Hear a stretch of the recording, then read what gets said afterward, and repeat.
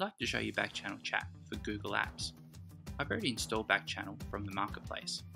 First up, we offer single sign-on from the Google Nav bar. The system knows that I'm an admin user and offers me the chance to set up the app.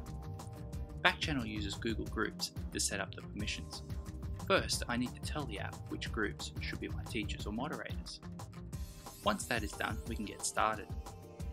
Once your backchannels have been created, teachers and administrators have access to all of the back-end stats, which show how students contribute.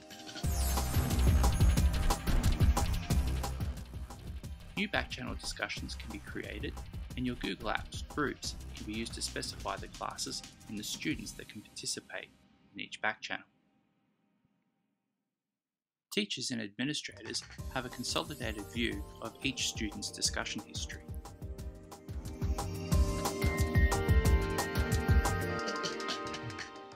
If your school is looking for a real-time discussion tool, which is designed for educational use, Backchannel Chat for Google Apps brings everything together in one central place.